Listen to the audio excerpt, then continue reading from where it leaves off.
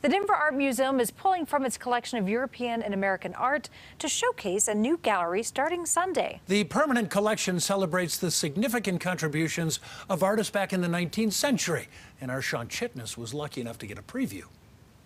It's hard to think of other centuries where there have been so many changes, so many uh, great transition, such as in the 19th century. It's that journey from the late 1700s to the early 1900s that the Denver Art Museum tries to capture in this new permanent display. The collection features well-known names like Monet, Renoir, and Cezanne just some of their work at a time when Paris was the art capital of the Western world. Artists that broke with tradition, broke with the uh, principles of the academy, and uh, created really uh, a new art, a new movement, uh, uh, pushing the boundaries. Not just French artists, but also American work as well a chance to see how similar subjects were explored differently on either side of the Atlantic Ocean. If you ever desire to uh, introduce uh, French Impressionism to your children or to your family, this is a great opportunity to do so. Visitors 18 and under can see it for free.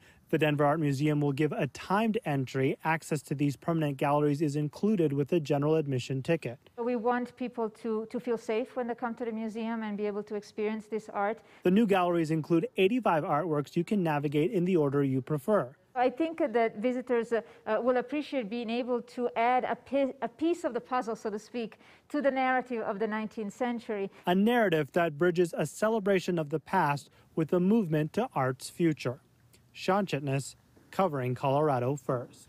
And to learn more about how you can support artists and arts and cultural organizations in our community, just visit cbsdenver.com. When you get there, click on For the Arts.